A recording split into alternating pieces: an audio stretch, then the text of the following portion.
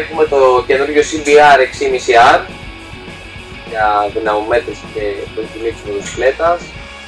Ε, οφείλουμε να πούμε ότι είναι ένα πολύ αξιόλογη μοτοσυκλέτα, γραμμική, όλο το φάσμα της ε, κινητήρα ε, είναι ομαλό, είναι άριστος στο αναβάτη και στο χρήστη.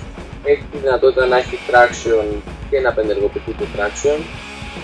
Ε, όσον αφορά την απόδοση, ε, έχει βγάλει 90 άλογα στον τροπό, το οποίο είναι, αν πάμε καλά, γύρω στα 4 με 5 άλογα πιο πολύ από το CD το 6,5 το F και το R, το οποίο ήταν γύρω στα 85-84, δεν το θυμάμαι ακριβώς.